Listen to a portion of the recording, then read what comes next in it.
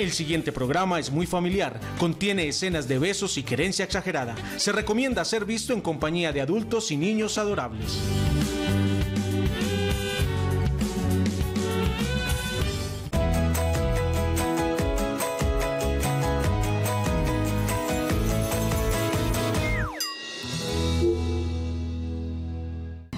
Nos unimos en un arrullo para abrir juntos un camino. Yo te ayudo entre dudas, llanto y caídas, entre risas, besos y abrazos, juntos nos gozamos la vida paso a paso, construyendo desde el amor, paso a paso, para hacernos la vida mejor, paso a paso. Dejando huellas de dicha y color. Estamos aquí una así, vez así más. como los cantantes. ¿Cómo, cómo? Paso a paso. Ah, estamos inspirados. Paso a paso. Aquí estamos con ustedes una vez más, contentos de compartir este espacio, este rato para hacernos mejores padres, mejores personas, mejores cuidadores, para seguir tejiendo hogares, para seguir llenándonos de herramientas para, es que no sé, iba a decir una palabra y ya no sé si sí o si no. Eh, porque no sé si sea positivo o sea negativo, etiquetarnos como un programa eh, que da herramientas, que es positivo para todos, pero el tema de las etiquetas será precisamente protagonista hoy con nuestro invitado, eh, que es además invitado internacional, invitado que viene también al Congreso Buen Comienzo y que ya estará con nosotros. Moni, ¿cómo vamos? Bien, bien, bien. Eh, sí, sí, pero un poquito preocupada. ¿Por qué? Por las etiquetas también. Pues no solo por eso, o sea, eh, eso me gusta. eh, además creo que yo he sido víctima de las etiquetas. Pues no, yo no, mis hijos, sí. Sí. Pues no sé hasta qué punto. Obviamente yo vivo muy agradecida con sus terapias y sus vainas, pero ya lo averiguaremos. El tema me encanta. Lo que me preocupa es que el invitado tiene tantos temas tan profundos que si nunca nos alcanza el tiempo, creo que Hoy hoy, sí que menos. Bailas. Y difícil volverlo a traer para hacer otros 10 programas con él. Si fuéramos a hacer un programa por cada libro, necesitaríamos además, ¿no? Por ahí 8 o 10 programas. Bueno, Ah, está. aprovechémoslo hoy, aprovechémoslo hoy. Aquí con nosotros estamos en nuestra recta final de esta administración. Eh, ayer estábamos aquí en negociaciones a ver si nos llevamos el programa para Madrid. Hoy Ah, no bueno. lo podemos llevar. Pa' Rosario. Para Rosario, Pa' Rosario, Argentina. Sí, Argentina, a ver pronto. con el que primero nos pare bolas Vamos de llevarnos qué- este programa a darle la vuelta al mundo. Entonces, pues para allá pegamos, Leo, ¿cierto? Sí, así es. Eh, pues ese es nuestro tema de hoy. Eh, lo hemos llamado cómo se construye la infancia, pero hablaremos de eso, de, de etiquetas, de diagnósticos. Eh, será un programa muy abierto y la invitación por eso es a que nos llamen, a que se comuniquen con nosotros al 268-6033, porque seguramente surgirán muchas inquietudes o experiencias que ayudarán a nutrir la ponencia de nuestro invitado hoy en Paso. Ese cómo se construye la infancia quizá es, un, es uno de los temas que maneja el invitado, pero quizá es el que englobe todos los demás temas de los que habla tan bien y tan profundamente. Eh, uno de ellos, uno de esos subtemas, el tema de las etiquetas. Hoy tan común, eh, padres tan preocupados por cuenta de esa explosión de diagnósticos eh, eh, y claro, diagnósticos hechos además por profesionales en los cuales como padres de familia depositamos toda nuestra confianza, entonces obviamente creemos y, e iniciamos un tratamiento. Hoy él nos va a dar su punto de vista, pero con este video, o al menos que habla de este tema, de este uno de los temas de nuestro invitado de hoy, abrimos hoy nuestro paso a paso. 20 millones de niños diagnosticados con trastornos mentales por el tema de las etiquetas, Se que debemos, como dice el video, dejar que ellos mismos se las pongan. Te quiero uno Pero- como medio enloquecer, pero qué video Sí. tan bien hecho, qué video tan bonito y qué mejor manera de abrir eh, a nuestro experto. Sin embargo, como ayer, eh, antes de que venga eh, este personaje que ya hemos hecho tanta introducción y tanta expectativa hablarnos de tantos temas, entre ellos este de las etiquetas, vamos a darle la bienvenida a alguien de buen comienzo que va a hablarnos de temas importantes alusivos al Congreso que está en curso en este momento en Plaza Mayor. Aquí está la experta en paso a paso.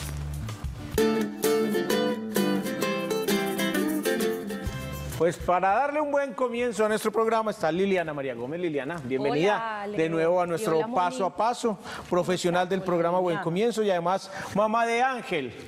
Sí. ¿Qué edad tiene Ángel? Ángel tiene seis años Seis y años. medio. Eso Sí. es trampa porque todos somos papás de ángeles. Ah, sí. Ángel por la y la. Sí, Pero ahí, ah, Ángel, eso es otra etiqueta. Voy a preguntar. es un ángel. Además de llamarse ángel, es un Es un ángel. ángel, sí, por eso digo, todos son unos ángeles y todos somos padres de ángeles, así no se llamen ángeles, bienvenida y gracias por estar con nosotros. Decíamos que eh, tendremos estos tres días, claro, invitados eh, del Congreso, de esos ponentes que han venido con sus temas, eh, muy seleccionados además por un Claro comité que, sí. hay detrás de toda la organización. Concretamente, eh, hoy ya hemos eh, mencionado tal vez la especialidad de nuestro experto.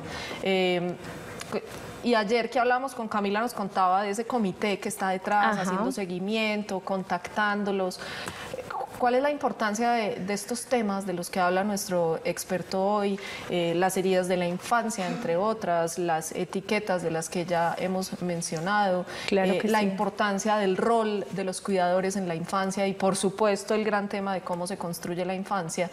Eh, y ya que tuviste la oportunidad, me imagino, de verlo allí en el Congreso, Pero por supuesto, pues son muchas preguntas en una sola, pero yo creo que la más importante es que realmente cada uno de los invitados que tenemos en este quinto Congreso Internacional eh, tiene grandes aportes para el trabajo que nosotros hacemos en la ciudad con la primera infancia y para los maestros, no solo nuestros agentes educativos, sino todas las personas que allí han querido estar. Eh, nuestro invitado entonces nos aporta grandes eh, experiencias, conocimientos acerca de todo lo que tiene que ver con el tema de la discapacidad, que es un tema de, de tanta importancia y de tanta actualidad en la ciudad.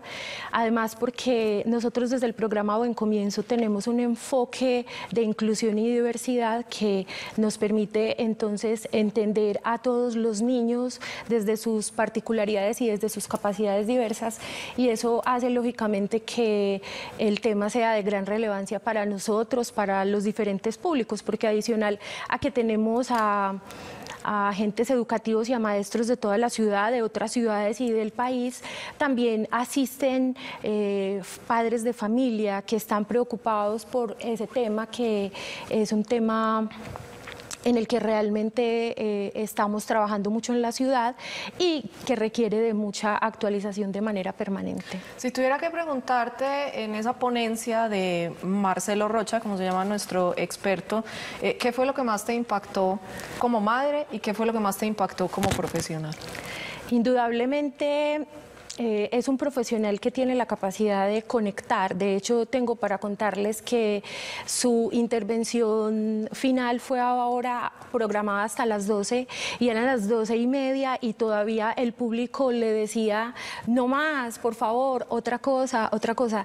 Tiene esa capacidad eh, técnica de contarle a, a todas las personas en un lenguaje muy sencillo y muy práctico qué es todo este tema de la discapacidad, de las capacidades diversas, pero adicional a ello nos conecta con sus comentarios, con sus historias, con sus experiencias. Es realmente interesante. Ca- Casi no nos lo dejan venir pues a paso a paso, No, a por supuesto. escoltado. ¿Eso es como profesional? Y como persona, lógicamente. Pero eh, como mamá, ¿qué te llegó? Claro, como mamá, eh, indudablemente creo que es un asunto que me toca mucho desde lo personal por algunas características que también hemos identificado en mi hijo.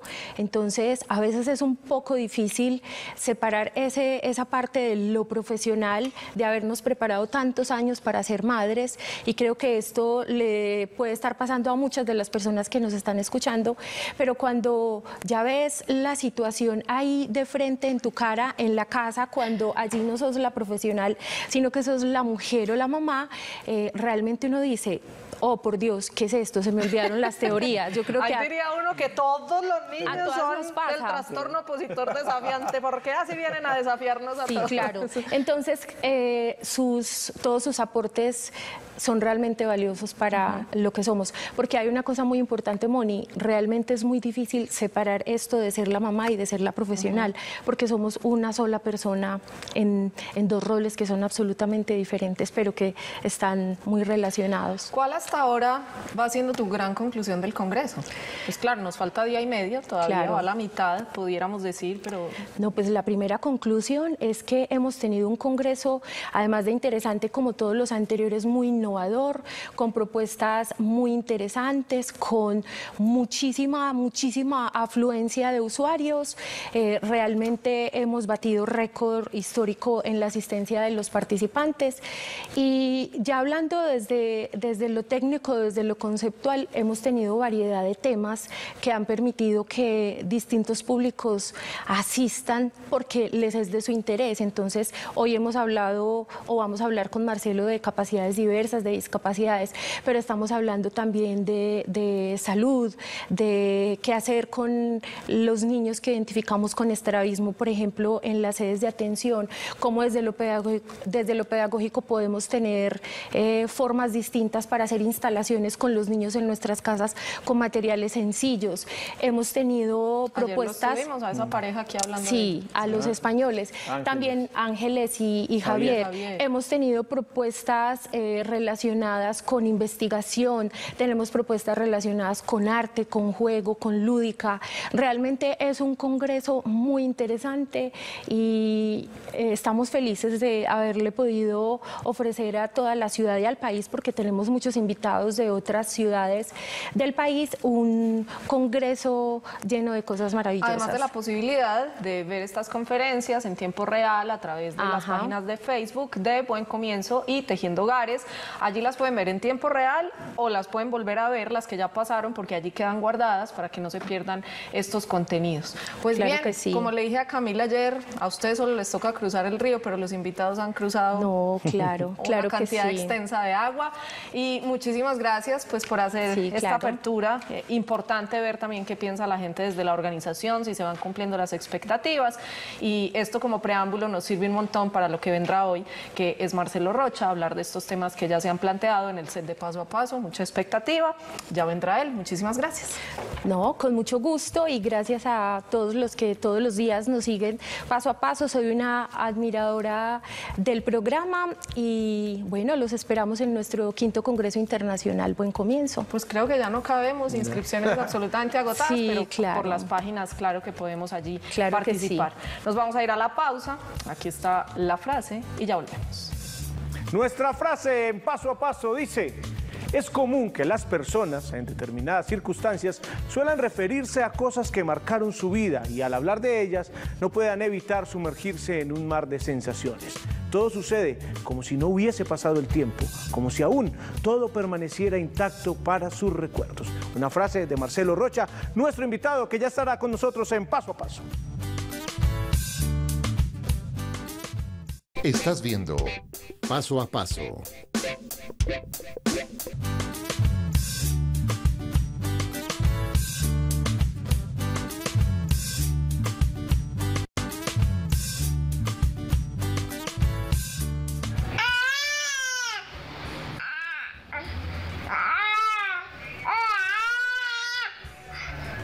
Salude la tía, la madrina.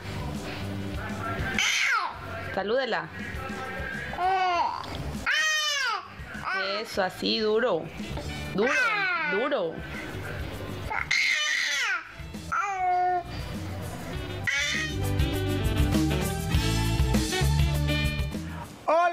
Emiliano, que saluda a la madrina, decíamos Moniceso a los siete meses, a los pues, siete más meses. grandecito va a aparecer. Dios mío. Ah, candidato en campaña. Eh, ustedes pueden enviar sus videos y fotografías a paso a paso arroba telemedellín eh, para compartir sus grandes citas pequeñitas, sus fotografías, sus videos y antes de irnos con nuestro invitado Moni, rápidamente vamos a entregar, Ganadores. anunciar las ganadoras, ganadores de los cuatro boletas para la charla con Virginia Blainstein que se realizará el próximo 19 de septiembre en el Auditorio Panamericana, gracias a Universo de Familias. Eh, las ganadoras son, Moni, eh, arroba Viviana, Vivi Valencia M, es decir, eh, Viviana Valencia, Ana Zapata con arroba Naisa49, María Alejandra arroba Aleja B-10 y arroba Jime eh, Jimena Carvajal. Son las cuatro ganadoras para que se programen para el próximo 19 de septiembre con Virginia Blaze.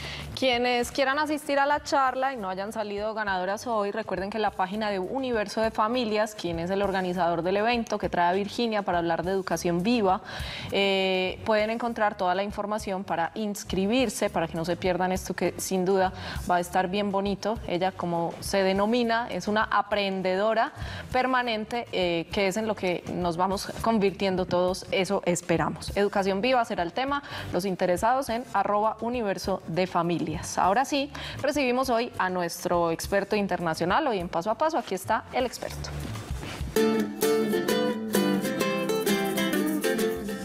Desde Rosario, Argentina, con un rosario de temas y de cosas chéveres por conversar, llega Marcelo Rocha. Marcelo, Hola, bienvenido a nuestro paso a paso. Un gusto tenerte en nuestro programa. Psicoanalista, investigador y docente de la Universidad Nacional de Rosario y autor de libros, entre otros, porque tiene más de ocho publicaciones. Está Las marcas de la infancia, reencuentros con el pasado, repitencias del inconsciente e infancias en la escuela, discapacidad, detenciones y tropiezos en la experiencia de la infancia. Y además, el título al que tal vez más valor le damos en nuestro programa es Papá de Bautista y de Franco.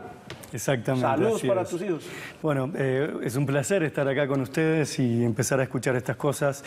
Ver ese video que pusieron al inicio del programa me parece fundamental porque creo que es uno de los temas que más nos, nos inquietan en estos tiempos, que tienen que ver con lo que está pasando con las infancias y cómo estamos tratando las infancias, particularmente en ese terreno que tiene que ver con el diagnóstico precoz y que a veces genera un rótulo que, por ende evidentemente genera un posible estigma. Yo creo que empezar como eh, nos gusta acá conociendo más que nosotros presentando es eh, por parte de ustedes quién es Marcelo, cuál es su recorrido, qué lo lleva a conectar con esos temas de infancia, eh, teniendo claro que es uno de los que dice que desde la infancia se va determinando lo que hoy somos, pues ¿qué lo ha llevado a estar hoy aquí hablando de esto? Bueno, seguramente mi propia infancia. O sea, Marcelo es aquel eh, niño que hoy es un adulto y vive en este adulto, eh, obviamente con, con, otros pensamientos más, más crecidos, más maduros, eh, más fortificados también por las teorías, por la, las lecturas, los otras, las otras personas que me han acompañado en mi vida. Es un niño que ha nacido en una ciudad muy pequeña y que se, siendo adolescente, joven, se ha ido a estudiar a una ciudad muy grande como es Rosario. Yo nací en Firmat y me fui a estudiar a Rosario. Y allí, bueno, me formé como psicólogo. Yo nunca supe que iba a terminar trabajando en esta temática. Eh, la verdad es que sí me pasó de que mientras estudiaba y transitaba la ciudad, me empecé a inquietar por los niños en situación de calle sí. y bueno, empecé a trabajar con niños en situación de calle. Después empecé a investigar todo lo que es el campo de la discapacidad, porque siempre me apasionaron las cosas difíciles y complejas, pero también lo que me di cuenta es que esas complejidades me llevaron a entender eh, otras realidades. Uh -huh. Entonces acá estoy, eh, trabajando, pensando, investigando, escribiendo, eh, encontrándome con este, esta gente tan linda de buen comienzo. Sí. Tuve la posibilidad de estar aquí en, bueno, en Medellín. ¿Primera vez que vienes a Medellín? Es la primera vez. eh, tuve la posibilidad de, de, estar en uno de los jardines, de jugar con los niños. Ah, okay. Y yo no considero, no, no concibo un psicoanalista o un profesional que no juegue con los niños. O sea, y ahí tenemos un primer, un, una primera cuestión.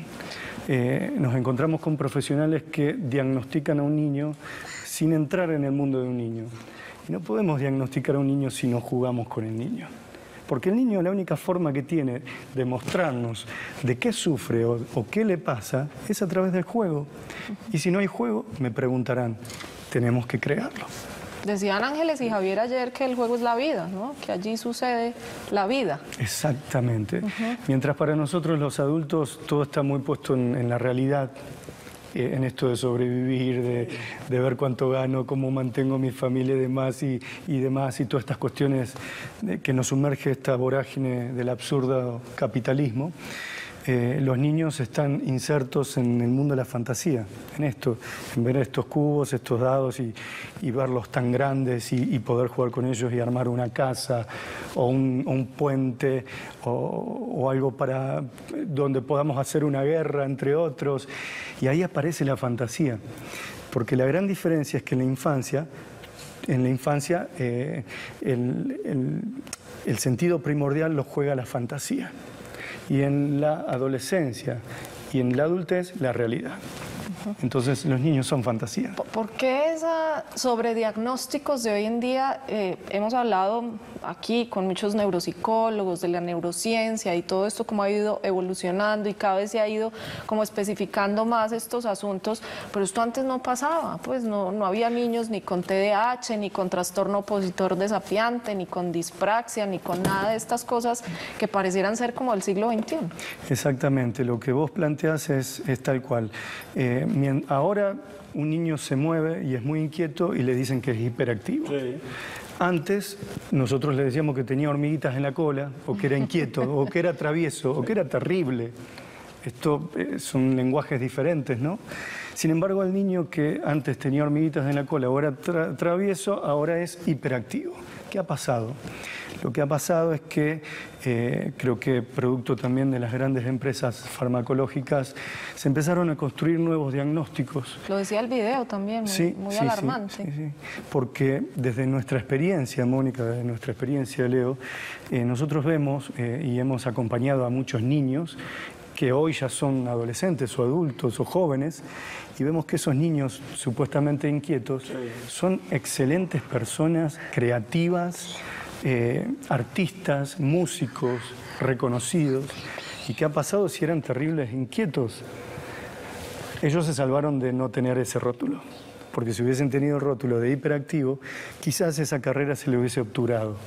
Hay como un afán de, de etiquetar, ¿es ¿cierto? De, de diagnosticar y muchas veces con, con tanta información, a veces los propios padres esperamos como tener ese diagnóstico para crear, para quedar un poco tranquilos. O sea, eh, vemos que nuestros hijos presentan determinada condición o situación y ah, no, algo debe tener. Cuando lo diagnostican dice Sí. uno, ay, ya lo Ah, sabe- todo. Eso, ya sabemos Lo que tiene. todo. Y aún con ese diagnóstico no es eso lo que realmente tiene. Eh, es muy bueno lo que decís, está bueno hacer una, una gran distinción, o sea, hay diagnósticos necesarios y hay diagnósticos innecesarios, o, o hay sobrediagnosticación.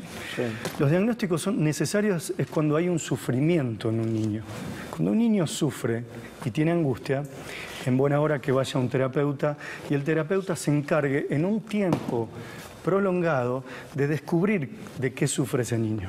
¿sí? Cuando el que sufre el papá, el que debe consultar y el, el diagnóstico es para el papá. Es que generalmente lo que pasa. ¿Qué es lo que sucede? Lo que nos sucede es que recibimos a padres porque viene un padre y me dice, mira, estoy preocupado porque mi hijo no para, bueno, tiene rótulo de hiperactividad, quiero que lo veas. Cuando viene a jugar a, a jugar a mi consultorio, juega, eh, maneja su cuerpo, maneja la realidad, sabe cuándo juega y cuándo no juega, armamos perso- personajes, eh, le digo, bueno, ahora vamos a cambiar de juego y me hace caso.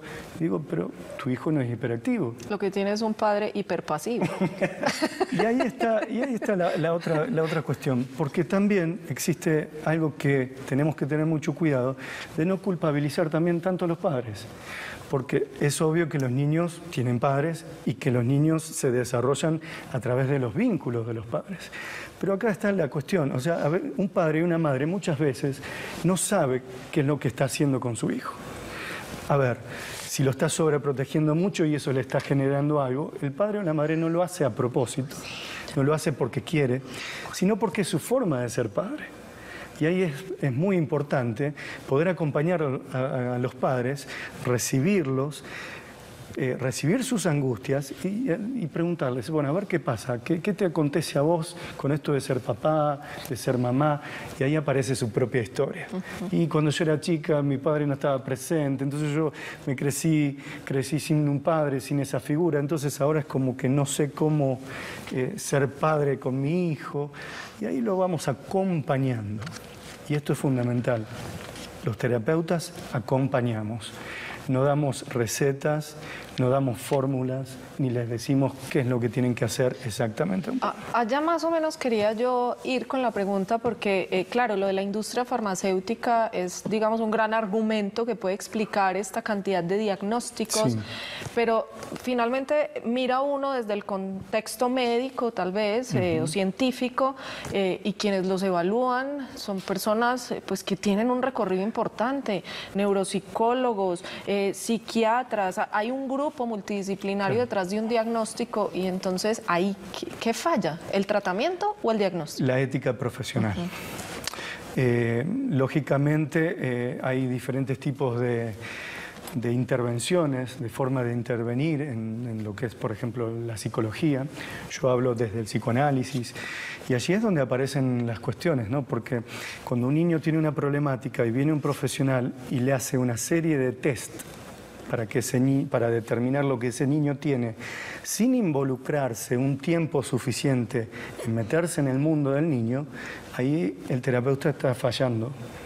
Porque está con esas- interviniendo desde, un, desde una exterioridad. Con esas pruebas, supuestamente estándares y probadas Son- mundialmente. Son pruebas estandarizadas, eh, probadas mundialmente, pero sucede que eh, un, niño no es un, un niño no es lo mismo aquí en Medellín que en Argentina.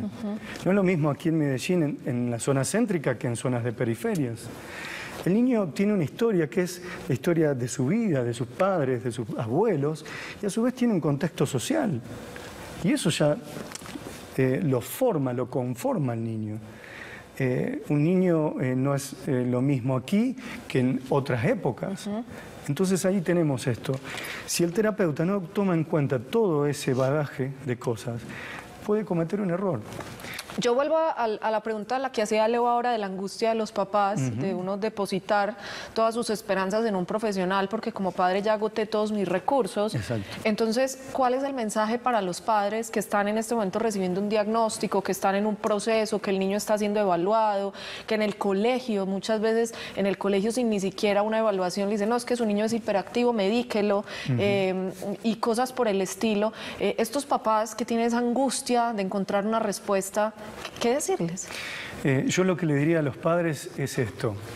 Nunca, jamás dejen de mirar a su hijo por lo que es.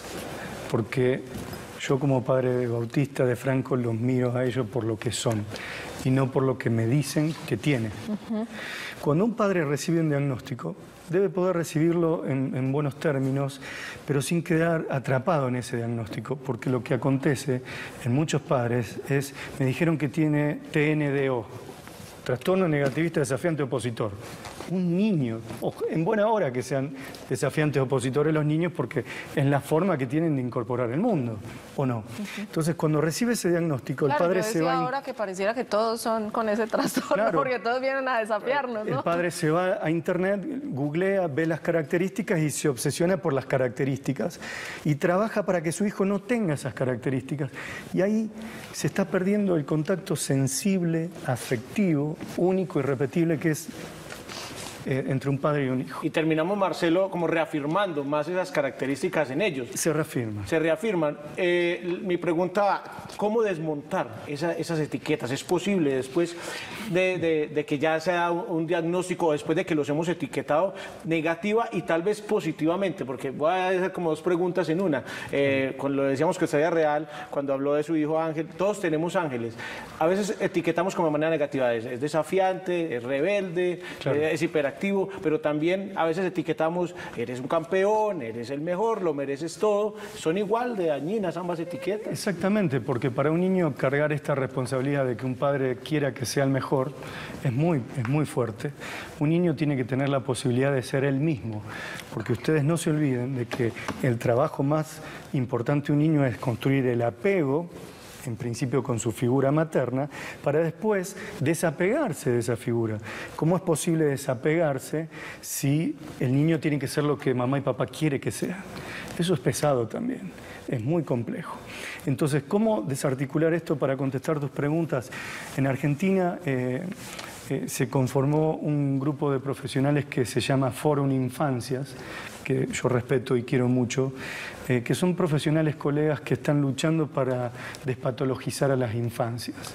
eh, hay un trabajo muy arduo porque mientras mis colegas, nosotros, eh, tratamos de mostrarle a la sociedad de que tengamos cuidado a la hora de diagnosticar a un niño, existen otras cosas, por ejemplo, que nos dicen de que uno de cada 49 niños tiene TEA, trastorno del espectro autista, o nos dicen que otros de cada tantos niños tiene eh, TNDO. Entonces los padres se empiezan a preocupar y mi hijo no lo tendrá porque si tienen tantos... eh, entonces Se nosotros... vuelve contagioso, Sí, sí. sin serlo. Raro que el mío no tenga. Claro. Yo insisto, y esto es un mensaje. El diagnóstico siempre es bueno eh, mientras sea precoz, pero tenemos que ver de qué forma se realiza, sin olvidar la historia del niño, el bagaje con- eh, donde él vive, ¿sí? sus vínculos eh, y el contexto psicosocial donde él se encuentra inserto. Perfecto. Vamos a ir a la línea, Marcelo, porque está Cediel con nosotros en el 268-6033, papá de Miguel Ángel y de Jacobo. Cediel, bienvenido. Eh, muy buenas tardes. Buenas tardes, ¿cómo va todo? Mm, Perfectamente, muy contento con el programa desde Manizales del Alma, lo estoy viendo por acá y escuchando y muy, muy interesante me parece pues el tema que ustedes están tomando, sobre todo porque uno como papá queda muy confundido, porque uno no sabe si el niño, que, dicen que es mejor atajar que empujar, entonces uno no sabe, entonces uno lleva el niño pues, o uno se apoya mucho en, en el jardín donde ellos están, uno se apoya mucho y ya uno sale como más confundido, pero ahora con la que él empieza a clarificar cuando dicen eh, un buen diagnóstico, por llamarlo así, o que del, del bebé pues le dicen a uno cosas que, que uno en la casa está muy confundido, me parece muy, muy interesante lo que él nos está diciendo. Cediel, muchísimas gracias por la participación. Claro, y toca dos temas importantes, uno que ya abordamos y es cuál debería ser nuestro rol como padres al enfrentarnos a un diagnóstico. Ser padres. Ser padre. Y ser padre significa amar a un hijo.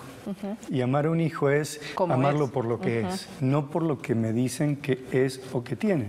Y ahora él viene a añadir a esa pregunta que ya habíamos, eh, digamos, abordado, el tema y el rol de los educadores y de la escuela, que es muchas veces de donde parte ese diagnóstico. Es que yo siento que su hijo, es que yo veo que su hijo falla en esto, a él le falta esto, ¿por qué no lo lleva a evaluar? O incluso, como decíamos ahora, los etiquetan antes de que sean evaluados. Claro. Bueno, si son etiquetados antes de ser evaluados, eh, la verdad que eso está muy mal.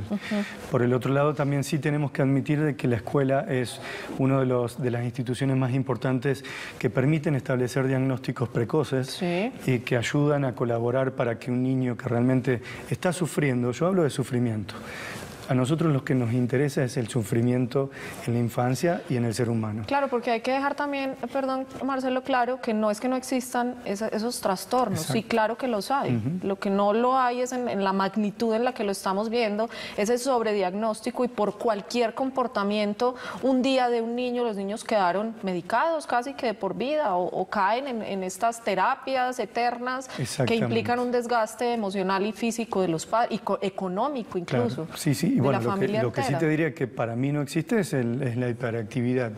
De 10 niños diagnosticados, quizás un niño que se le hace un mapeo cerebral eh, realmente puede llegar a tener alguna dificultad a nivel neurológico. rasgos. Pero lo cierto es que la gran cantidad no lo tienen, son niños que están expresando alguna otra cosa que le está sucediendo. Quizás de repente eh, falleció una mascota o, o se separó papá y mamá o, o un amiguito lo está peleando o lo está provocando mucho y eso lo angustia, entonces lo expresa a través de su cuerpo. O en, casa vive violencia y esa violencia la traslada a su conducta. Entonces, si diagnosticamos y le ponemos un rótulo, silenciamos la historia de ese niño, qué es lo que verdaderamente le pasa. Y cuando aparece un test, si ese profesional no juega, no, no se incorpora al mundo del niño, yo insisto en eso, hay un error. Ah, Ahora, Marcelo, eh, pues decía Cediel, es, es inevitable que nosotros quedemos confundidos y, y preocupados. Es inevitable.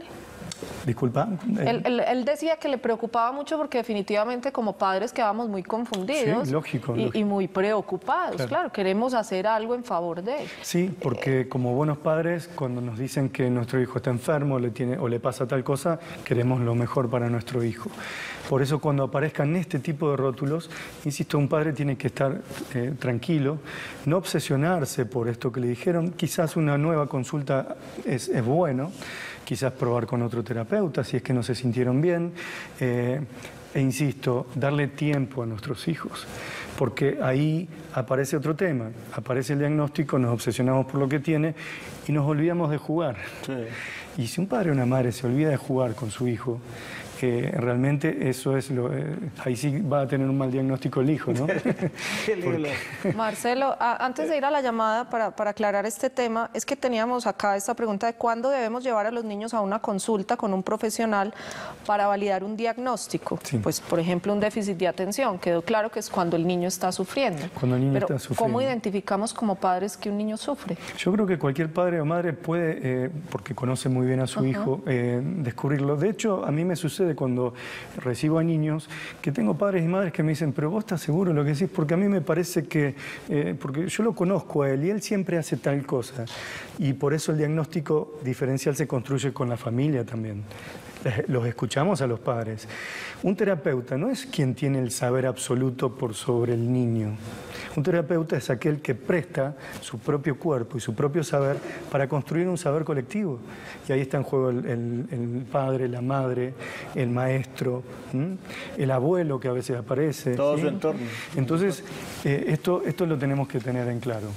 Eh, en ese sentido, eh, lo que nos toca es, es, insisto, acompañar a los niños.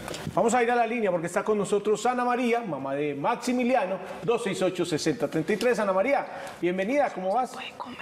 Hola, muy buenas tardes.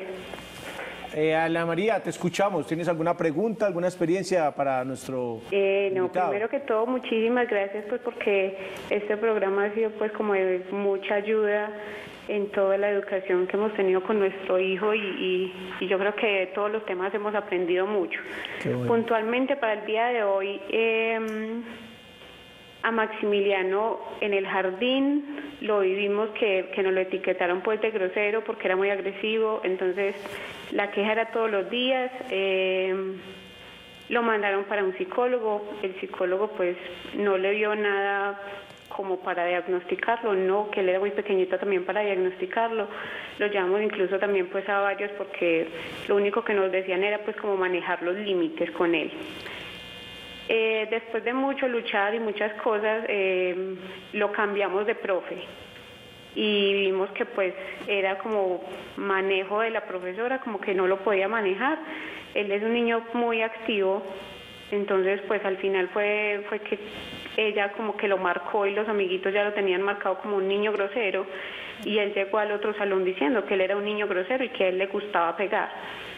Entonces, no sé cómo ahora, y en compañía con la profe, pues estamos haciendo un trabajo de, de hablarle todo en positivo, pero pues como decía ahorita el doctor invitado, que no podemos decirle siempre también que él es el campeón o que él es el mejor, porque también le vamos a hacer un daño así, entonces necesito de pronto como una guía de cómo cómo hablarle y quitarle esa etiqueta que tiene ya de que es un niño grosero, de que es un niño malo.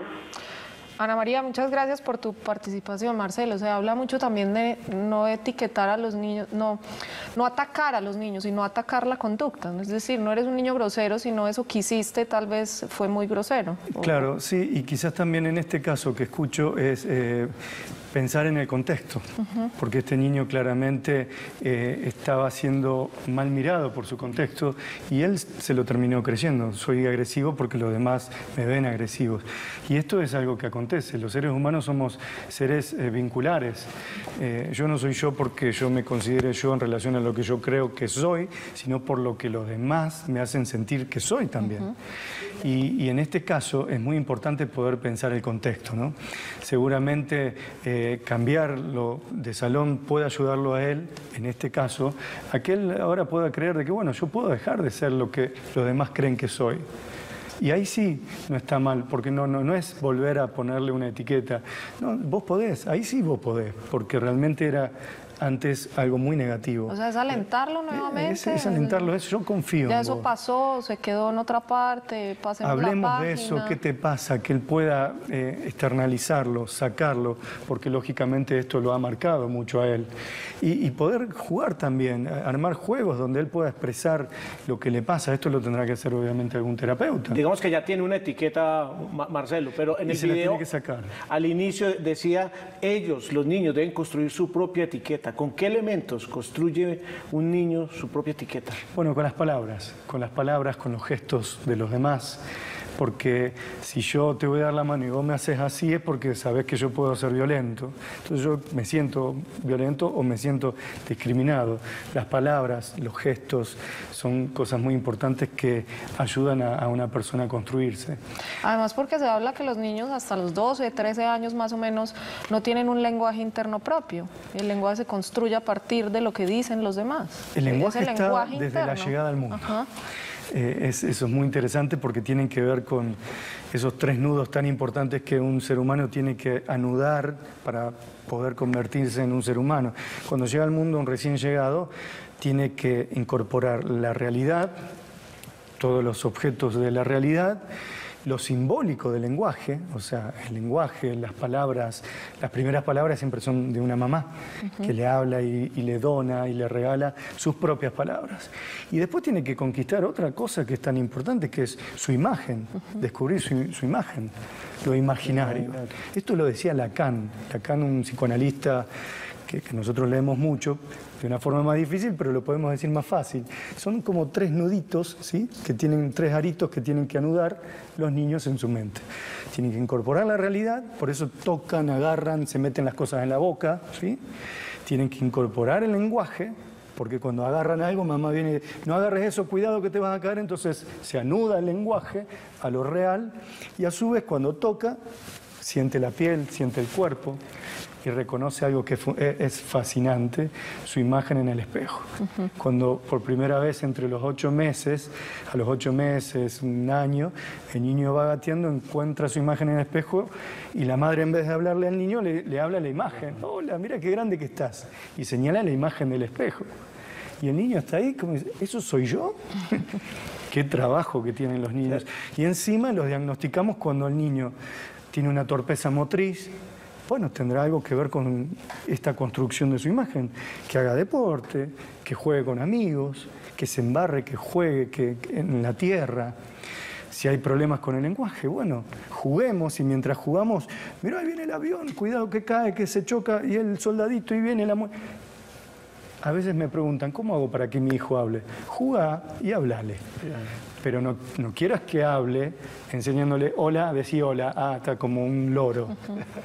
Porque las sinapsis eh, neurológicas se producen, sí, se producen, pero si no hay afecto, si no hay juego, No hay emoción. no hay emoción y esa sinapsis es más débil, se pierde.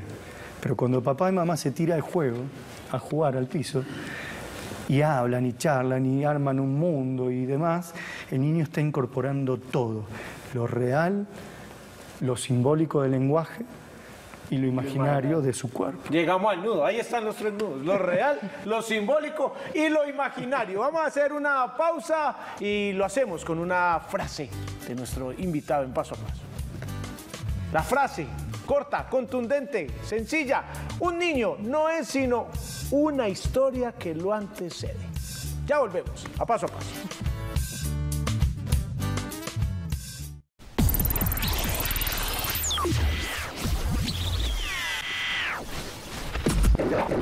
Estás viendo Paso a Paso.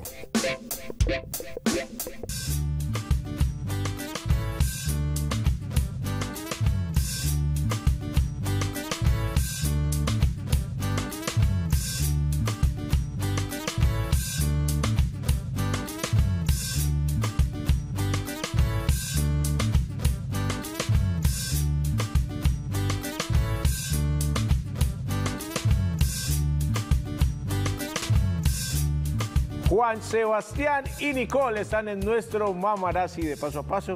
No sé si el diagnóstico ahí podría ser, no sé, alegría extrema, eh, jugando con, con harina, leche en polvo. Bueno, ustedes pueden enviar sus videos y fotografías a paso a paso arroba telemedellín.tv. Eh, seguimos compartiendo aquí con Marcelo. Y bueno, es que me llamó, quería preguntarle a. Marcelo eh, sobre una frase que leí en, en uno de sus escritos, no sé. Y quisiera ampliarlo un poquito. ¿Es cierto, Marcelo, que hoy necesitamos más crianza y menos terapia? Sí, eh, en realidad y esa, esa frase es más que nada una cita que hice de un querido amigo, colega, que es Luciano Lutero, que es psicoanalista argentino y tiene un libro que se llama Más crianza y menos terapia que son esos libros que siempre uno quiso escribir y que realmente eh, admira uno, ¿no? Eh, y lo que acontece es esto, lo que falta es mucha crianza y a veces menos terapia.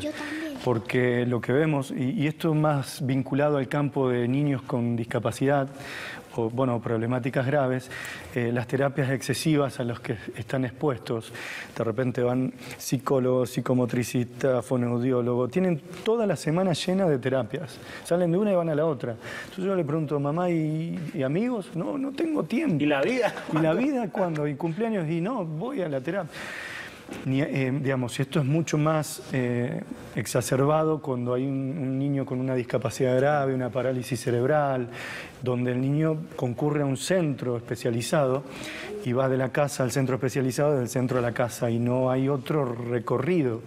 Yo eso lo llamo circuito discapacitante porque se empobrece el recorrido y no olvidemos, los seres humanos somos experiencias, eh, porque nos construimos a través de la experiencia y si no tenemos experiencias, no hay aprendizaje. Yo, cuando Leo dijo que, quería retomar una de las frases, yo pensé que iba a ser la con la que nos fuimos a la pausa, que decía, un niño no es sino una historia que lo antecede.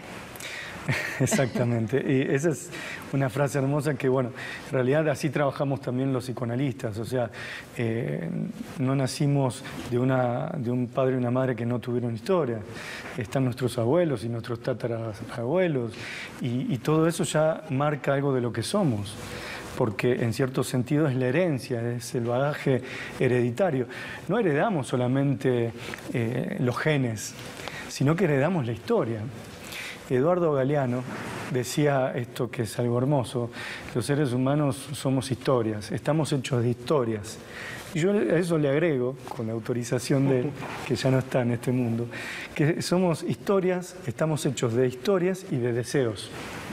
Porque el deseo es algo que se transmite. Porque hubo un deseo de una abuela que le transmitió a mamá o a papá, y ese papá y esa mamá me transmitió ese deseo a mí. El deseo muta, se, transmite, se dona. Y esto es lo que hace un padre. Eso, padres, ¿qué puedo hacer con mi hijo diagnosticado? Sigan deseándolo como el primer día en que nació. No olviden eso. Eh, tenga o no tenga discapacidad, esté o no diagnosticado, eso es fundamental. si somos la historia que nos antecede, estamos llenos de marcas de, la infancia. ¿Qué son esas marcas de la infancia? Las marcas de la infancia eh, en realidad tiene que ver con un libro que escribí hace un par de años que es uno de los libros que más quiero, lo amo porque eh, tiene que ver con esto, somos lo que fuimos cuando éramos niños. la infancia es nuestro pasado. Y esa infancia, por ende, nuestro pasado es nuestro inconsciente. Ahí tomamos un concepto del psicoanálisis. El inconsciente, eso que guardamos en un archivo, forma parte de aquello que fuimos, que es nuestra infancia. Y lo curioso del inconsciente, de la infancia, de nuestro pasado, es que se repite, tiende a repetirse. Ese niño que fuimos tiene esa necesidad constante de salir en este adulto que somos a través de diferentes cosas, de lo que somos, de lo que hacemos, de lo que elegimos y también de cómo sintomatizamos. Me vas a acordar de esa frase de Adler que dice que la infancia es el lugar en el que vivimos el resto de la vida. Sí. Básicamente. Sí, y, le podemos agregar que la infancia es el lugar que vive el resto de nuestras vidas en nosotros. Lo podemos hasta modificar. Basándome en esa misma frase de un niño no es sino una historia que lo antecede, ¿qué es la infancia entonces para Marcelo y, y pues cómo la aborda, cómo la piensa? La infancia es una experiencia, es una travesía, es una travesía única, irrepetible. Eh, es una travesía que empieza, termina, pero que perdura en nosotros. Eh, es una experiencia única y singular donde pasan cosas que uno no puede predecir y es lo mejor que puede pasar es eso también, ¿no? Es lo impredecible de la experiencia, porque a veces cuando queremos que pase algo seguramente no va a pasar. La infancia es, es aquella patria a la que volvemos siempre, para elegir nuestros amores actuales. eh, la infancia es aquello que nos persigue constantemente a la hora de, de sentarnos a jugar con nuestros hijos, a la hora de, de ser un maestro y ejercer mi rol docente, a la hora de ser psicoanalista y relacionarme con un niño. Es que como que de los creadores de que uno no aprende a ser hijo sino hasta que es papá, llega la frase de uno no aprende a ser niño sino hasta que es adulto. ¿Hay alguna manera de enseñarle a nuestros hijos a valorar ese momento, que no tengan que esperar a que crezcamos o a desear crecer como la mayoría de los niños que No. siempre están con el deseo de quiero ser grande, quiero ser grande y nosotros repitiéndole no crezcas, es una trampa? ¿Hay alguna manera o definitivamente No, yo es el que deber no ser? Y, y- y que nunca existan maneras, Ujú. porque lo peor que le puede pasar a un ser humano es cuando aparece una fórmula para algo. Ujú. Si existiera la fórmula del amor para no sufrir, estamos todos mal, estaríamos todos muy mal, muy tristes, porque la esencia del amor es también sufrir y también eh, encontrar aquel que me calce bien y que no. Y, y ese es el amor. Bueno, eh, a un niño no se le va a poder enseñar a ser un buen padre, sino lo que sí podemos hacer es donarle nuestra propia forma de ser padres, para que ellos cuando sean padres vean qué, ha- qué hacen con eso. Jean-Paul Sartre dijo una frase hermosa, somos lo que hacemos con lo que hicieron con nosotros. Entonces, yo no puedo enseñarle a mi hijo a cómo tiene que ser cuando va a ser padre, pero, Pero, sí más puedo que ser padre referirme a esa, a esa primera frase era el, el ejemplo siguiente. Sí. de no aprendemos a ser niños sino hasta que somos adultos. Exactamente. Porque, ¿cómo hacer para que valoren esa infancia desde que son niños? Eh, yo creo que los niños se encargan de valorarlo mucho. O sea, la infancia es tiempo. Otra de las cosas que tiene la infancia es el tiempo. El tiempo en la infancia es lo primordial y es ahí donde nos muestran que ellos valoran la infancia, ese tiempo. Porque cuando vos le decís, basta, deja de jugar un ratito más, papá, un ratito más, ahí nos están demostrando de que ellos la están viviendo y la están valorando. Eso lo dicen los niños y lo dicen los televidentes cada vez que se- está acabando paso a paso. Un, ra- un ratito más, un ratito más, porque e- este programa se da tan rápido como la infancia. Marcelo, muchas gracias por estar en Medellín. Ojalá Gracias. Medellín te lleve a uno de esos buenos recuerdos de tu infancia. Sí, la verdad es que me llevo un grato recuerdo de Medellín, de ustedes, de este momento vivido, de toda la gente de buen comienzo. La verdad es que me he sentido muy bien agasajado. La gente es muy linda, es muy rica acá. Eh, y bueno, seguramente volveré. eh, Un mesecito a de consulta, de terapia. Cogemos No, fichas. pero nos cuenta primero para coger Sí, primero. No doy turnos en Medellín, ¿no? por ahora. Marcelo, muchísimas gracias. Gracias a Es- ustedes, Es gracias. Encantador escucharlo Gracias. hablar, eh, sobre todo de esa manera tan tranquilizante en un mundo tan lleno de ideas, de conceptos, de diagnósticos, eh, pues como que vuelve el alma al cuerpo. Quieran a sus hijos como son y por lo que son, es básicamente el mensaje que hoy más se nos queda. Muchísimas gracias. Gracias. gracias. Nosotros nos vamos, les deseamos un feliz resto de tarde. Mañana tendremos nuevamente invitados del Congreso y aquí estaremos para cerrar la semana con la mejor actitud. Chao, chao. Chao, chao.